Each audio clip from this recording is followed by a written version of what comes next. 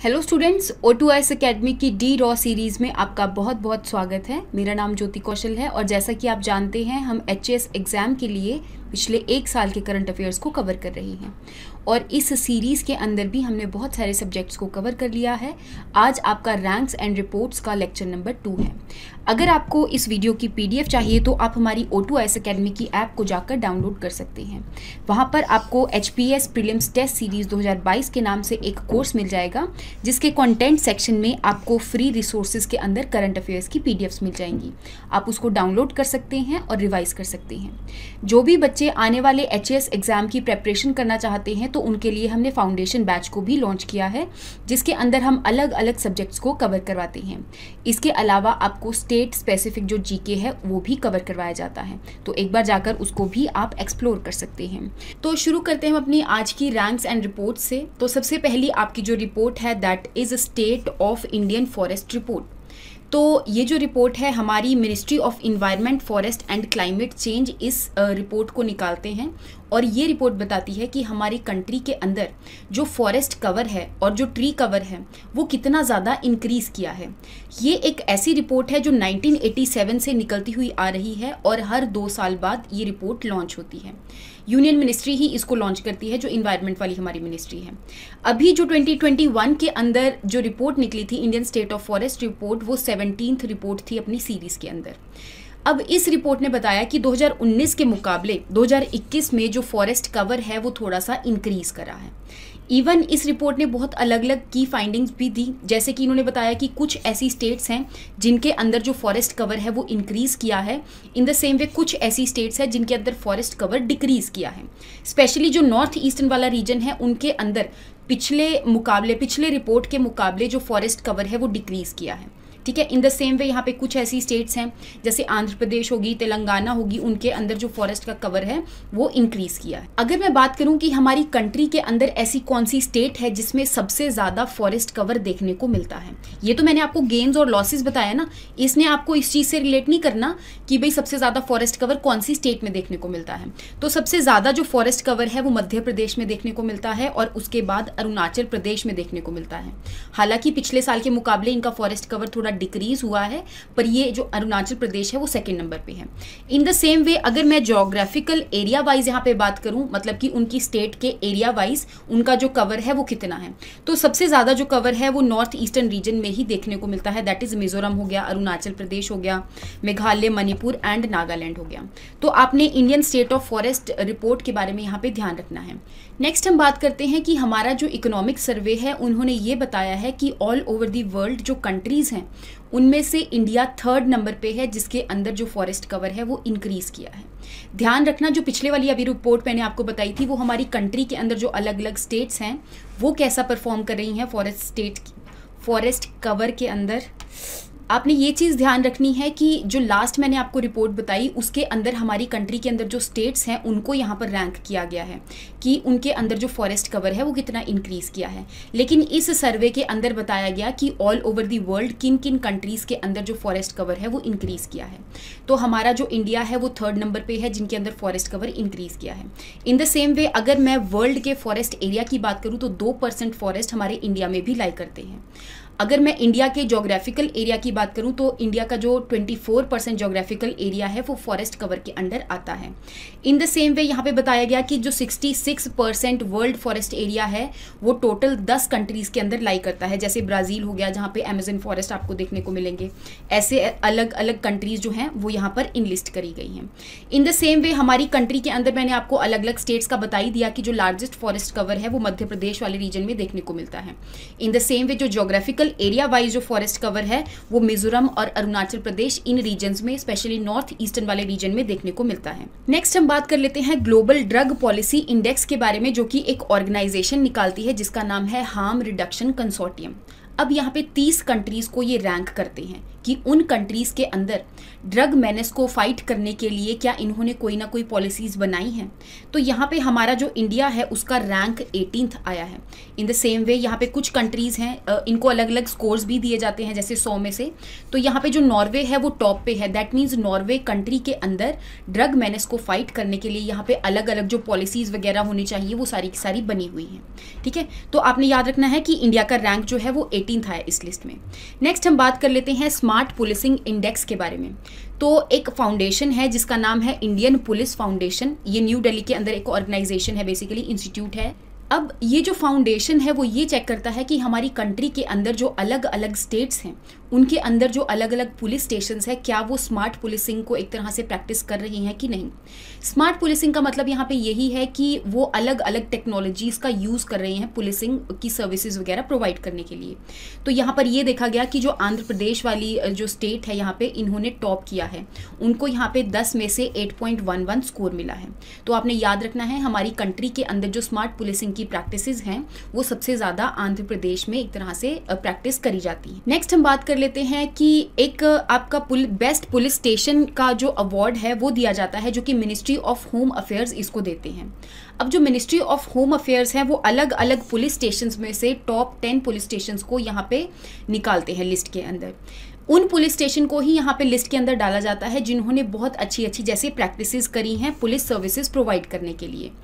अब यहाँ पे आपको पता होना चाहिए कि जो दिल्ली का सदर बाज़ार वाला पुलिस स्टेशन है उन्होंने फ़र्स्ट रैंक हासिल किया है। इन द सेम वे यहाँ पे अलग अलग पुलिस स्टेशन है जिन्होंने अलग अलग रैंक्स लिए हैं तो एटलीस्ट uh, आपको पहले तीन जो रैंक है उनके बारे में पता होना चाहिए। जैसे सेकेंड नंबर पे ओडिशा का गंगापुर पुलिस स्टेशन हो गया।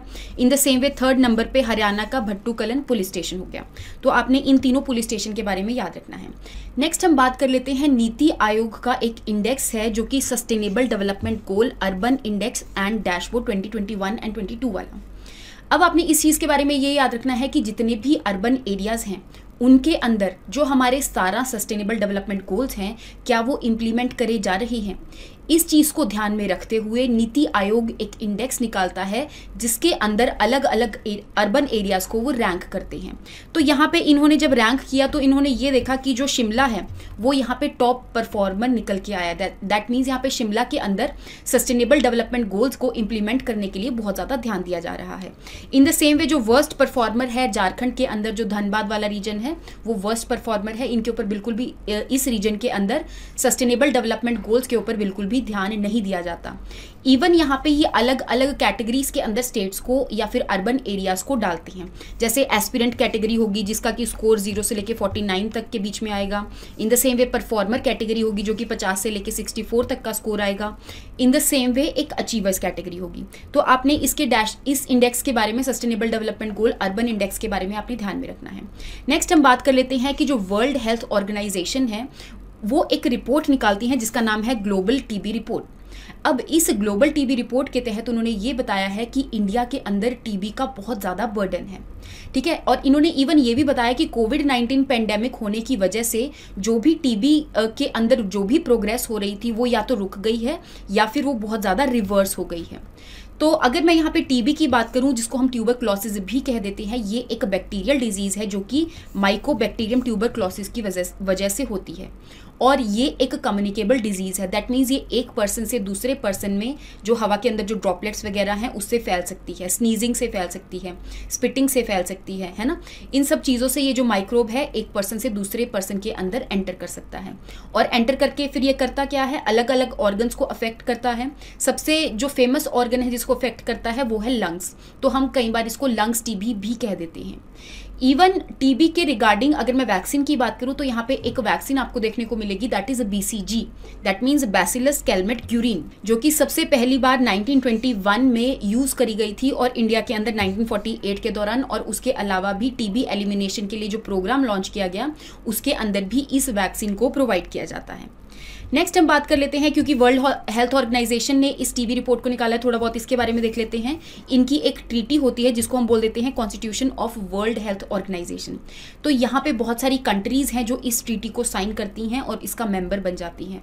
और अल्टीमेटली वर्ल्ड हेल्थ ऑर्गेनाइजेशन का काम यही है कि ऑल ओवर दी वर्ल्ड जितनी भी यहाँ पे disease related health related problems हैं, उन सबको ध्यान में रखते हुए अलग अलग रूल्स एंड रेगुलेशंस ये निकालते हैं। जैसे अलग अलग डिजीजेस के तहत पेंडेमिक हो गया एंडेमिक हो गया and in the same way epidemic हो गया, इन सब चीज़ों को ये डिक्लेयर करते हैं। तो आपने वर्ल्ड हेल्थ ऑर्गेनाइजेशन के बारे में याद रखना है। इवन ये एक यूनाइटेड नेशन की स्पेशलाइज्ड एजेंसी है, जिसको कि 1948 के अंदर बनाया गया था। नेक्स्ट हम बात कर लेते हैं रूल ऑफ़ लॉ इंडेक्स के बारे में, जो कि वर्ल्ड जस्टिस प्रोजेक्ट इस इंडेक्स को निकालते हैं। अब इस इंडेक्स के अंदर भी ये क्या करेंगे? ऑल ओवर दी वर्ल्ड जो अलग अलग कंट्रीज़ हैं, जैसे कि 139 कंट्रीज़ हैं, उनको यहाँ पे रैंकिंग प्रोवाइड करते हैं। अब ये किस बेस पे इस रैंकिंग को प्रोवाइड करते हैं? तो ये चेक करते हैं कि क्या उस कंट्री में रूल ऑफ़ लॉ को फॉलो किया जा रहा है कि नहीं। रूल ऑफ़ लॉ का मतलब यहाँ पे ये है कि अगर उस कंट्री के अंदर कोई भी यहाँ पे अलग अलग जैसे रूल्स वगैरह बनाए गए हैं और उस रूल्स के तहत ही लोगों को यहाँ पे जस्टिस वगैरह प्रोवाइड करे, किया जा रहा है। तो यहाँ पे जो भी जस्टिस प्रोवाइड किया जा रहा है, वो एफिशिएंट और फेयर तरीके से प्रोवाइड किया जा रहा है। इन द सेम वे लोगों के फंडामेंटल जो राइट्स हैं, उनको प्रोटेक्ट किया जा रहा है और यहाँ पर जो भी रूल्स बनाए जा रहे हैं, वो एक तरह से बिल्कुल क्लियर होने चाहिए, ठीक है? इन चीज़ को फॉलो करते हुए ये कंट्रीज़ को यहाँ पर रैंक करते हैं। इन द सेम वे हमारी जो कंट्री है, उसका रैंक 79 आया है आउट ऑफ़ 139 कंट्रीज़ अगर मैं वर्ल्ड जस्टिस प्रोजेक्ट के बारे में बात करूँ यहाँ पे तो इस इंडेक्स को ये 2006 से निकालते हुए आ रहे हैं और यही चेक करते हैं कि ऑल ओवर दी वर्ल्ड किन किन कंट्रीज़ में रूल ऑफ़ लॉ को फॉलो किया जाता है। नेक्स्ट हम बात कर लेते हैं स्टेट एनर्जी एफिशिएंसी इंडेक्स के बारे में। तो हमारी जो मिनिस्ट्री ऑफ़ पावर के अंडर जो ब्यूरो ऑफ़ एनर्जी एफिशिएंसी है एंड इवन उसके साथ मिलकर जो alliance for energy efficient economy है, ये दोनों मिलकर इस इंडेक्स को निकालती हैं। इस इंडेक्स के नाम से ही क्लियर हो रहा है कि यहाँ पे ये स्टेट्स को रैंक करेंगे बेस्ड अपॉन कि उस स्टेट के अंदर कितनी ज़्यादा एनर्जी एफिशिएंसी है। एनर्जी एफिशिएंसी का मतलब यहाँ पर यही होता है कि थोड़ी एनर्जी यूज़ करने के बावजूद भी हम बहुत ज़्यादा काम जो है वो परफॉर्म कर पा रहे हैं। दैट मीन्स यहाँ पे जो भी एनर्जी यूज़ हो रही है, वो एफिशिएंट तरीके से यूज़ हो रही है। इवन ये यहाँ पे अलग अलग कैटेगरीज के अंदर स्टेट को रैंक करते हैं स्कोर प्रोवाइड करते हैं। जैसे इसके अंदर भी एस्पिरेंट कैटेगरी होगा कंटेंडर होगा अचीवर्स होगा फ्रंट रनर्स होगा डिपेंडिंग अपॉन कि उस स्टेट का क्या स्कोर आता है। तो यहाँ पे जो सबसे ऊपर स्टेट आई है, जिसने सबसे अच्छा परफॉर्म किया है तो वो है कर्नाटका। तो आपको पता होना चाहिए कि जो हरियाणा है, वो थर्ड नंबर पे आया है, जिनका स्कोर 59.5 है। दैट मीन्स वो अचीवर्स की कैटेगरी में लाई करते हैं। In the same way bureau of energy efficiency के बारे में मैंने आपको बताई दिया कि मिनिस्ट्री ऑफ़ पावर के अंडर लाई करती है, और ये भी एक स्टैचुटरी बॉडी है, जिसको कि एक एक्ट के द्वारा बनाया गया है। नेक्स्ट हम बात कर लेते हैं कि एक इंस्टीट्यूट है, जिसका नाम है हुरून रिसर्च इंस्टीट्यूट तो ये एक इंडेक्स निकालते हैं, एक लिस्ट निकालते हैं, जिसको बोलते हैं Hurun India future unicorn list अब ये इस लिस्ट के अंदर चेक करते हैं कि कौन सी कंट्री के अंदर, अब जैसे इंडिया से रिलेटेड लिस्ट है ये तो दैट मीन्स इंडिया के अंदर जो अलग अलग स्टेट्स हैं, उन स्टेट में से सबसे ज़्यादा स्टार्टअप्स कौन सी स्टेट से आ रहे हैं? इवन यहाँ पे इंडिया को भी अलग अलग कंट्री से कंपेयर किया और यहाँ पर ये बताया कि सबसे ज़्यादा जो स्टार्टअप्स है वो यूनाइटेड स्टेट्स वाले रीजन में देखने को मिलते हैं और सेकंड नंबर पे जो स्टार्टअप्स है वो चाइना वाले रीजन में देखने को मिलते हैं और थर्ड नंबर पे हमारा इंडिया आता है, जिसके अंदर नए नए और जो स्टार्टअप्स हैं वो बहुत ज़्यादा आते हैं, देखने को मिलते हैं।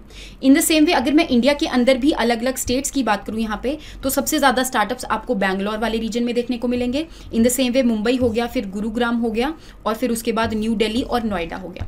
तो आपने इन रीजन्स के बारे में याद रखना है। स्टार्टअप का मतलब यहाँ पर यही है कि नया बिज़नेस शुरू करने के लिए जो ऑन्टरप्रनोर्स होते हैं, कोई ना कोई नई चीज़ों को शुरू करते हैं। उसको हम स्टार्टअप बोल देते हैं, ठीक है? तो उसी के बेस पे इस लिस्ट को निकाला जाता है। नेक्स्ट हम बात करते हैं कि जो नीति आयोग है, उन्होंने एक और रिपोर्ट निकाली है, जिसका नाम है reforms in urban planning capacity in India अब इस रिपोर्ट के तहत जो नीति आयोग है, उन्होंने ये बताया है कि आपको अर्बन प्लानिंग करने के लिए एक अलग से स्कीम को लॉन्च करना चाहिए, जो कि एक सेंट्रल सेक्टर स्कीम होनी चाहिए। दैट मीन्स यहाँ पे सारा का सारा जो खर्चा है, वो सेंटर सरकार उठाएगी। इन द सेम वे उन्होंने उसका नाम भी बताया that is 500 healthy cities programme इसके नाम से आपको सेंट्रल सेक्टर स्कीम को लॉन्च करना चाहिए, और यहाँ पे कुछ फंड्स जो है, वो एलोकेट करने चाहिए, ताकि हमारी कंट्री के अंदर जो भी अर्बनाइजेशन हो रही है, जिन रीजन्स में भी अर्बनाइजेशन हो रही है, उनके ऊपर थोड़ा फंड खर्च किया जा सके और यहाँ पे अर्बन प्लानिंग और अच्छी हो सके। तो अगर मैं अर्बनाइजेशन के बारे में बात करूँ तो अर्बनाइजेशन का मतलब यही होता है कि जो लोग हैं, वो रूरल एरिया से अर्बन एरियाज़ की टूवर्ड्स मूव करते हैं, क्योंकि उनको बहुत सारी फैसिलिटीज़ प्रोवाइड होती हैं। इन द सेम वे अगर मैं बात करूँ यहाँ पे तो 2011 के सेंसिस के अकॉर्डिंग हमारी कंट्री के अंदर जो अर्बनाइजेशन है, वो 31.1 परसेंटेज है और धीरे धीरे ये जो अर्बनाइजेशन है, वो इंक्रीज करती जा रही है। इवन यहाँ पे इन्होंने अर्बनाइजेशन के बारे में और कुछ इन्फॉर्मेशन प्रोवाइड करी है, जैसे कि कौन से ऐसे रीजन हैं जिनके अंदर अर्बनाइजेशन बहुत ज़्यादा हो रही है। स्पेशली आपको यूनियन टेरिटरीज के अंदर अर्बनाइजेशन 75 परसेंट देखने को मिलेगी।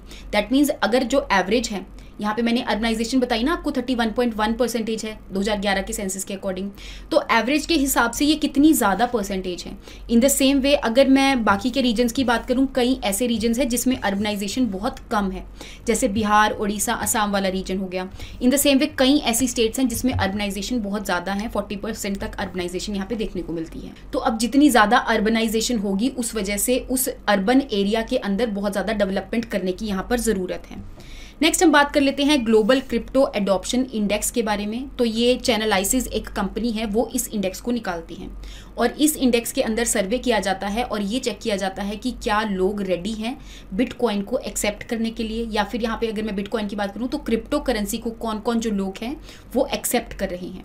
तो इस सर्वे के तहत ये पता चला कि ऑल ओवर दी वर्ल्ड जो वियतनाम है, वो टॉप नंबर पर है, जिन्होंने क्रिप्टो करेंसी को एक तरह से एक्सेप्ट करना शुरू कर दिया है।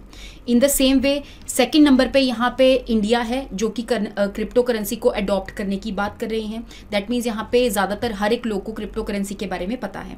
तो क्रिप्टो करेंसी कौन कौन सी होगी? जैसे बिटकॉइन हो गया रिपल हो गया इथीरियम हो गया, ये तो ये अलग अलग क्रिप्टो करेंसीज जो हैं, जो आपको यूज़ में देखने को मिलती है। क्रिप्टो करेंसी यहाँ पे यही होती है, जो कि एक तरह से ऐसी करेंसी होती है, जिसको कोई भी बैंक रेगुलेट नहीं करता। यहाँ पे डिसेंट्रलाइज तरीके से इस करेंसी की जो ट्रांजेक्शन वगैरह होती है, वो डिसेंट्रलाइज तरीके से होती है। इवन ये ब्लॉकचेन टेक्नोलॉजी के ऊपर बेस्ड होती है। तो यहाँ पे जो भी आप ट्रांजेक्शन एक पर्सन से दूसरे पर्सन को करते हो तो वो पब्लिक लेजर सिस्टम के अंदर रिकॉर्ड हो जाता है। ठीक है? एक ब्लॉक के अंदर एक तरह से रिकॉर्ड हो जाता है। तो आपने क्रिप्टो करेंसी के इंडेक्स के बारे में याद रखना नेक्स्ट हम बात करते हैं कि जो हुरून इंडिया है और एडलगिव है, वो एक लिस्ट निकालते हैं, जिसका नाम है EdelGive Hurun India philanthropist list अब इस लिस्ट के अंदर ये रैंक करते हैं अलग अलग फिलेंथ्रोफिस्ट्स को। फिलेंथ्रोफिस्ट्स होते कौन हैं? जो भी यहाँ पे बड़े बड़े बिजनेसमैन होते हैं, जो कि लोगों की वेलफेयर के लिए यहाँ पे पैसा वगैरह देते हैं तो उनको हम फिलेंथ्रोफिस्ट कह देते हैं। तो सबसे टॉप नंबर पे जो आए हैं, वो अजीब प्रेम जी आए हैं, जो कि विप्रो कंपनी के मालिक हैं। तो आपने पहले तीनों को याद रखना है सेकेंड नंबर पर शिव नडार हैं और तीसरे नंबर पर जो जियो के मालिक हैं, मुकेश अंबानी जी, वो यहाँ पर आते हैं। नेक्स्ट हम बात कर लेते हैं सेफ़ सिटीज़ इंडेक्स ट्वेंटी के बारे में।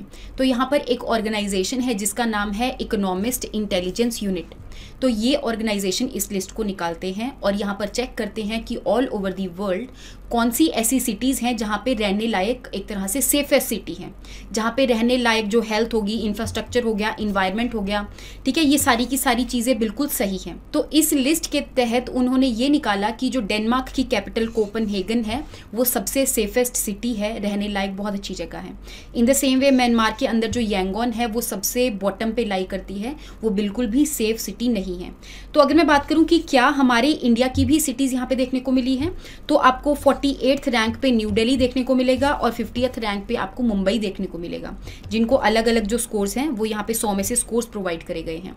क्योंकि स्कोर्स की भी यहाँ पे अलग अलग कैटेगरीज बना दी गई हैं, जैसे कि हमारे जो मुंबई और न्यू दिल्ली हैं, वो दोनों के दोनों हाइएस्ट सेफ्टी वाली कैटेगरी के अंदर लाइक करते हैं। तो यहाँ पे आप देख सकते हो कि पहले तीन रैंक जो है, वो डेनमार्क हो गया देन कनाडा का टोरंटो हो गया और सिंगापुर वाला जो रीजन है, वो यहाँ पे सबसे सेफेस्ट सिटी है, रहने लायक सिटी है।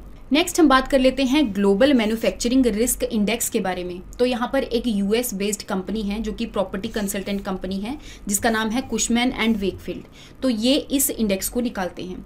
इस इंडेक्स के नाम से ही क्लियर हो रहा है कि ये इस इंडेक्स के अंदर जो अलग अलग कंट्रीज़ हैं, उनको रैंक करते हैं कि कौन सी कंट्री के अंदर अगर मैन्युफैक्चरिंग करनी हो मैन्युफैक्चरिंग का मतलब यहाँ पर यही होता है किसी चीज़ को एक छोटे रॉ मटेरियल से अपने प्रोसेस्ड चीज़ के अंदर कन्वर्ट करना हो, ठीक है? तो कौन सी कंट्री के अंदर मैन्युफैक्चरिंग जो है वो सबसे ज़्यादा ईजी है? तो यहाँ पे देखिए, देखा गया कि टॉप नंबर पे चाइना आ रहा है सेकेंड नंबर पे हमारा इंडिया है और थर्ड नंबर पे यहाँ पे यूएस देखने को मिला। तो यहाँ पे अलग अलग पैरामीटर्स को यहाँ पर देखते हैं, जैसे कि कि क्या उस कंट्री के अंदर मैन्युफैक्चरिंग को रीस्टार्ट कर सकते हैं? अगर वो मैन्युफैक्चरिंग यूनिट बंद हो जाए तो क्या उसको दोबारा से रीस्टार्ट कर सकते हैं। इन द सेम वे यहाँ पे अलग अलग रिस्क को क्या कवर किया जाता है? और वहाँ पे ऑपरेटिंग कॉस्ट जो है, ठीक है मैन्युफैक्चरिंग यूनिट लगाने की जो ऑपरेटिंग कॉस्ट है, वो कितनी पड़ जाती है? तो इन सब पैरामीटर्स को ध्यान रखते हुए ये कंट्रीज़ को रैंक करते हैं। तो आप देख सकते हो हमारा इंडिया जो है, वो सेकेंड नंबर पर है। तो आपने इन रैंक्स और रिपोर्ट्स के बारे में ध्यान रखना है। यहाँ तक हमारी जो रैंक्स एंड रिपोर्ट्स हैं, वो कवर हो गई हैं। नेक्स्ट क्लास के अंदर हम जो नेक्स्ट सब्जेक्ट है, उसको शुरू करने वाले हैं। सो आई होप आपको समझ में आया होगा। Thank you so much and have a nice day